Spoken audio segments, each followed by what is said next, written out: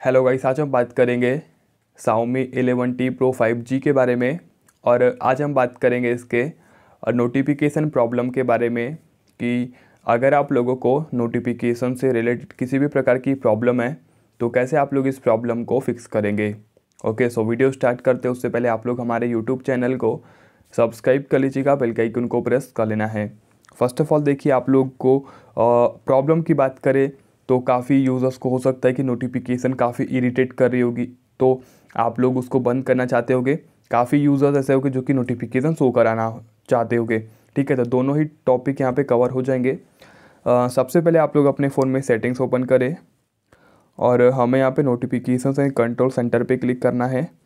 Status bar पे click करेंगे। अब देखिए पहला ऑप्शन मिलता है शो नोटिफिकेशन आइकॉन्स का। अब आप लोग नोटिफिकेशन शो कराना चाहते तो इसको ऑन रखें। अगर नहीं कराना चाहते तो इसको ऑफ़ करें, ठीक है? उसके बाद कुछ इंडिविजुअल ऐप्स का आप लोग को नोटिफिकेशन से दिक्कत आ रहा है या फिर शो कराना है तो आप लोग उसको लॉन्ग प्रेस करें, उसके ऐप इन्फो पे क्लिक करें। नोटिफिकेशन एक मिनट नोटिफिकेशंस पे क्लिक करें और यहाँ पे अगर उसका नोटिफिकेशन आपको इरीटेट करा होगा तो उसको बंद कर दे। अगर शो कराना तो यहाँ से ऑन कर दे, ठीक है ना? तो इस टाइप से आप लोग अपने फ़ोन में ये सब सेटअप को कर सकते हैं। आई होप आप लोग को वीडियो अच्छी लगी होगी। जय माता दी।